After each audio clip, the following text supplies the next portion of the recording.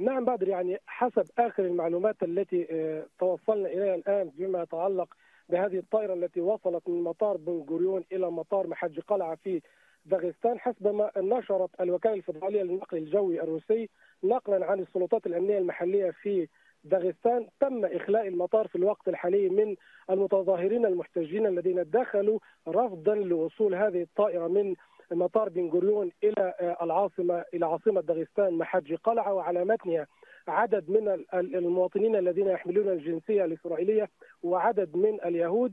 بدأت القصة في السابعة مساء بتوقيت موسكو عندما تجمهر عدد كبير من المواطنين في هذه المنطقة أي في منطقة داغستان. وفي جمهورية داغستان أمام مطار محج قلعة لمنع وصول طائرة كانت طائرة ريد وينجز وهي شركة طيران روسية كانت تنطلق برحلة من مطار بن جوريون لتصل إلى مطار محج قلعة. كان يفترض أن تصل في السابعة والربع بتوقيت موسكو.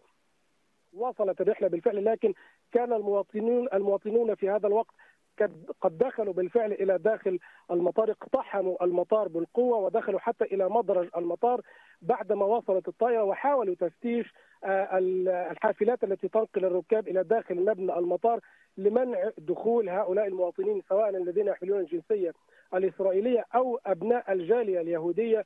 المقيمة في داغستان حتى لا يدخلوا إلى أراضي الجمهورية وطالبوا بطرد هؤلاء المواطنين. بالطبع تطورت الأحداث بشكل كبير.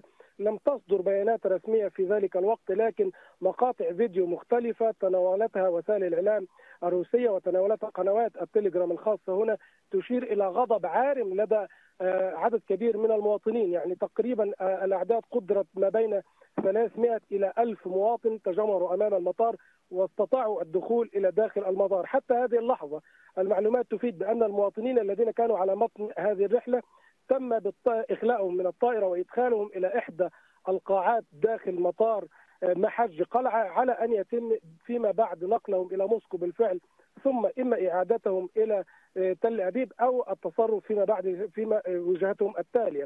بالطبع كل هذا يعكس حالة الغضب بدر الموجودة هنا في الداخل الروسي.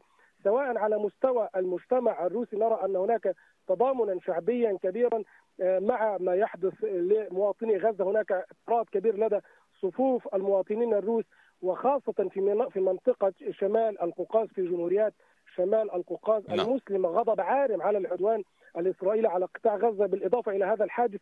كان هناك حادث آخر وقع نهار اليوم في جمهورية إسلامية أخرى هي جمهورية قبردين بلغاريا.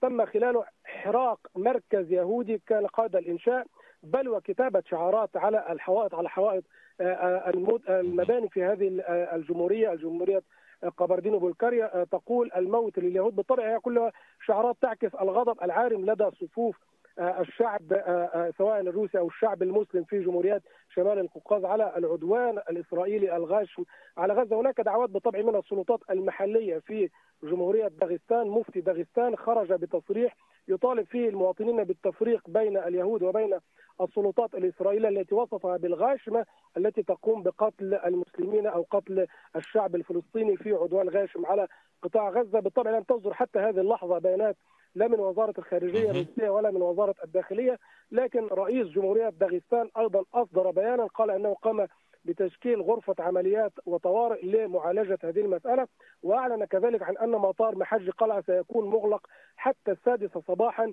ولن يتم استقبال رحلات من هناك أو إقلاع رحلات طيب. من داخل المطار حتى هذه اللحظة